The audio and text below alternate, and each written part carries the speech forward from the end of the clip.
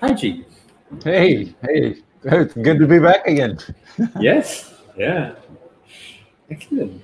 So, in the last couple of videos, we explored the, the structure of transformation, uh, explored working with identities, underlying presuppositions that we work with, uh, and so many different things. So, when when someone or when me as a coach, when I get that uh, structure of transformation and I'm able to make that shift, what would that what would that look and feel like? How would I know I've experienced it? Right. I mean, that's a great question. You know, one of the things that I I really believe in is that an answer to the question like that is an experience. And so, okay, not surprising. You probably know this, right? Not surprising. We should then say, okay, if you want to answer that question, let's go to you and go. Is there is there an area of your life something that you would like to see transform? I mean, truly transformed, where something that has has been a limitation never becomes a limitation ever again, because you make the identity shift. So let's go for something like that. Yeah, I mean, it's funny that you say that now. I mean, one of the areas that uh, I would love to work on is me working on uh, uh, having my presence on social media. Uh, I would like to be able to do a lot more and create a lot more content. It's amazing because we are doing this video. Uh, ah, but I okay, okay, just put a pause there. Put a pause there. Um, one of the things about transformation as a coach is that the that the in this case you whoever you're working with they have already generated examples of the transformation they're asking for and so for example we're on we're on video right now we're yes. getting ready to go into social media with this right now the very yes. thing you want to do and yes. what's interesting about it is that you don't yet have the identity of doing it. You just have the action. This is the behavioral action of doing it to create yes. the experience. When we make the kind of transformation we're talking about, those experiences become coalesced into your yes. identity and then become evidence. And then that generates the belief that anchors in the, this change of identity. Okay. Yeah. So, yeah. and if we talk about in the, the last video, we talked about presupposition. Yes. You know, my presuppositions, we're already there. I mean, that's yeah. not a big deal. And we, there are a couple of steps we probably need to take for you to get there, but we are there, right? Yes. And yes. so, and then you go, okay, that sounds too easy. And you know what? It is. yeah. I mean, my, my first thought was that, yeah, I'm able to do this, but I'm not able to do this consistently. All right. Uh, and right. it does it does take a lot of effort uh, right. for me to do this now. Right. And the, the key to this kind of transformation is the consistently.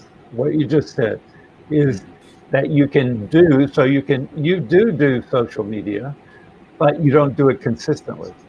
When yes. you make this transformation, which is the identity shift, it will be consistent because that will be the natural expression of who you are. And that's an important phrase.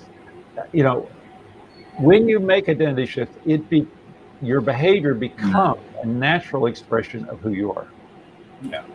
Right. Yeah. And you know, it, it's like, you know, we talk about this, you know, you go unconscious incompetence, conscious incompetence, conscious mm-hmm. competence, unconscious competence. Yeah.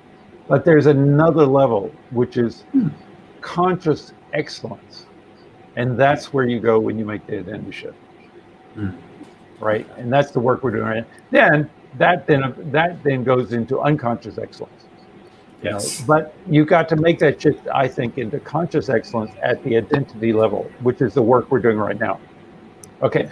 So what and and what we're looking for is we're looking for the internal organization that manifests in an identity statement. Okay, so what, who who are you when you consistently generate a, a global presence on social media? the moment you said global, my first sense was overwhelmed. Uh, no. I wasn't even I, I put that in. I put that in. I put that in uh, intentionally. yeah. Um, so who am I? Uh, I am. I mean, there are a couple of identities that come. I'm a giver. Uh, I am someone who consistently shares. Uh, so I'm someone who can consistently make a difference uh, globally. So I'm a change maker, uh, a global change maker. Ah. That's that's the identity statement that connects. Okay, let's start with that. Let's start with global change maker. we may find something that's actually even more precise, or we may stay with that. Um, so when you say to yourself, and this is the identity statement piece, when you say to yourself, I'm a global change maker, is there any objection?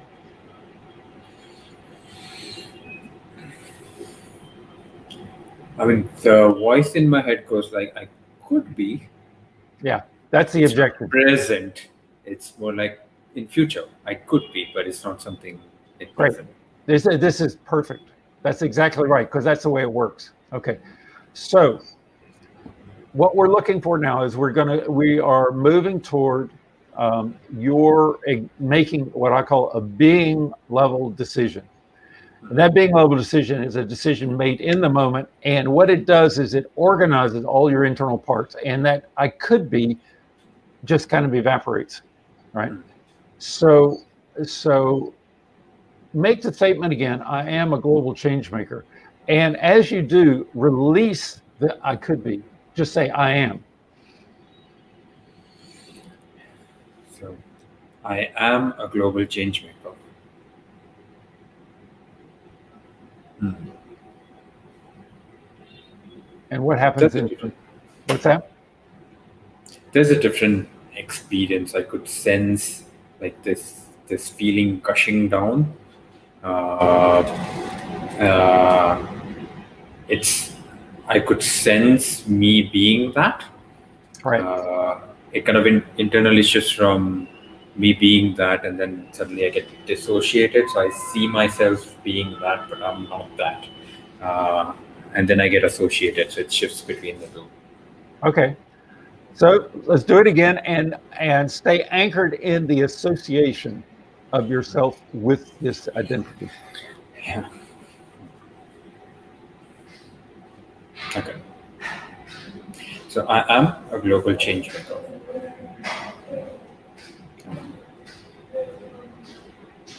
Yeah. I identified with it a bit more. Okay, it's a bit more. So you go, you know, and if we take it in NLP terms, your present state is moving towards your desired state. You're not completely there yet, not totally organized yet, and yet you are. Yeah.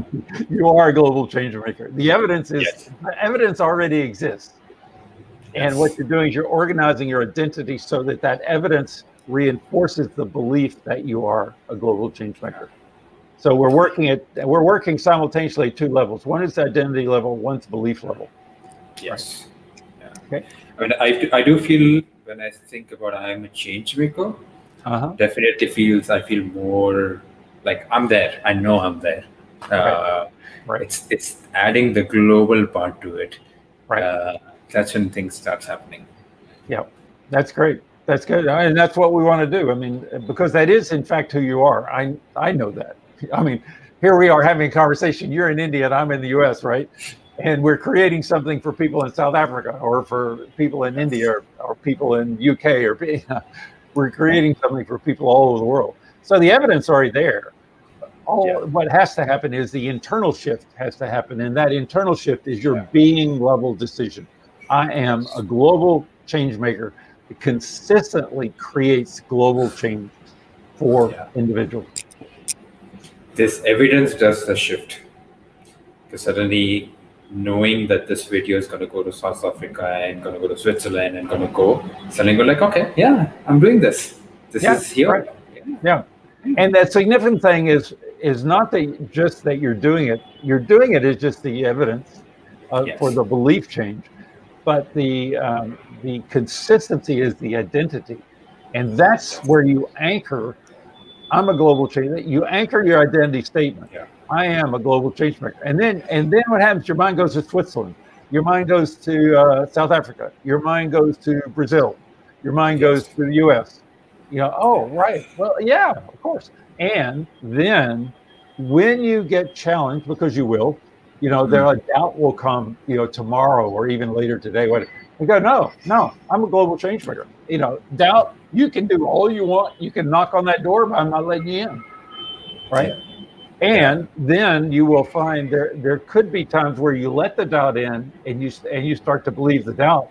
But then because you've anchored that identity statement, you come back to it say, you kick it, you kick the doubt out of the room you let the, the doubt into. Right? No, no, you don't belong here. Out you go. Um, Yes. And so that's what happens with with this kind of level of identity change. Yes. Yeah. This is who I am. Yeah, exactly. Yeah. I can So say that more again. effortlessly now. What's that? I said I could say that more effortlessly now. Okay, so notice I could say it more effortlessly. Yes. And the more says you haven't completely done it. Yes. Yes. It's not about more, it's about is. Yes. So say it again and just pay attention to what, what response you get. Uh, so I am a global change maker. Yeah. Yes.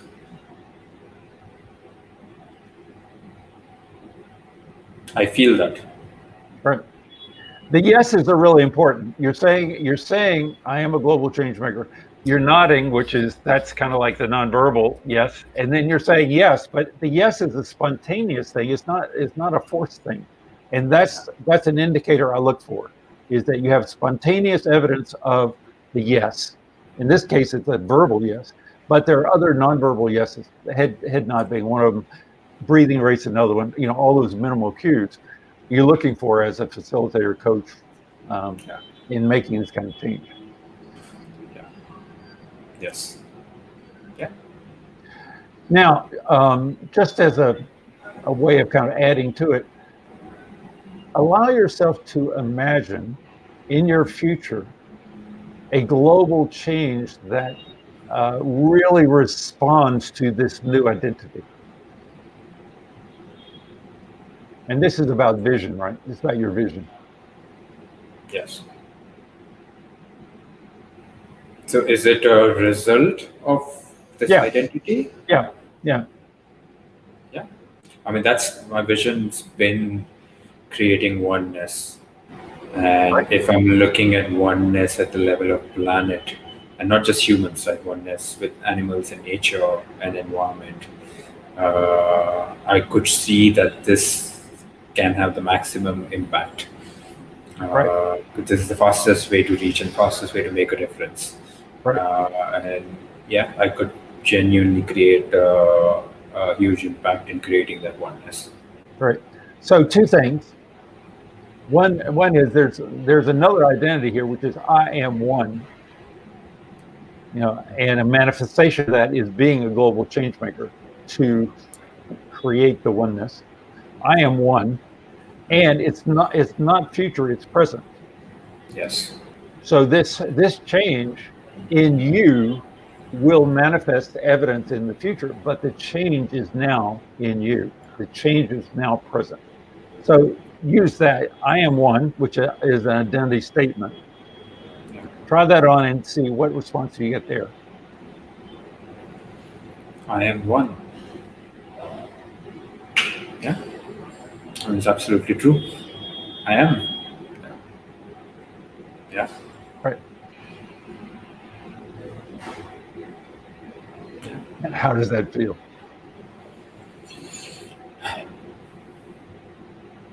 It's a very different level of connection. Uh, and it's amazing, I mean, fascinating maybe to have that level of connection to I mean, social media. So my perception about social media is very different, uh, very different now. Uh, and when I think about this from the place of I am one and I'm a global change maker, uh, yeah, it's a very different relationship to it. Right.